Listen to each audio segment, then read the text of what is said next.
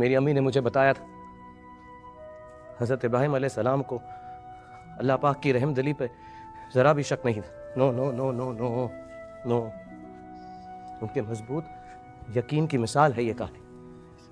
और यही वजह थी कि एक अजनबी के बार बार उकसाने के बावजूद भी हज़रत इब्राहिम सलाम ने अपनी वफा की राह नहीं छोड़ी। नो। उन्होंने उस अजनबी की एक नहीं सुनी, क्योंकि उन्हें यकीन था खुदा उनकी औलाद का खून कभी नहीं बहने देंगे। और वो सही थे। अल्लाह पाक ने इस्माइल की जान बख्श दी। और मेरी अम्मी ने यह भी कहा था रजवान हम्म, इस कहानी से पता चलता है कि खुदा की राह मोहब्बत की राह वहशत और चमके नहीं।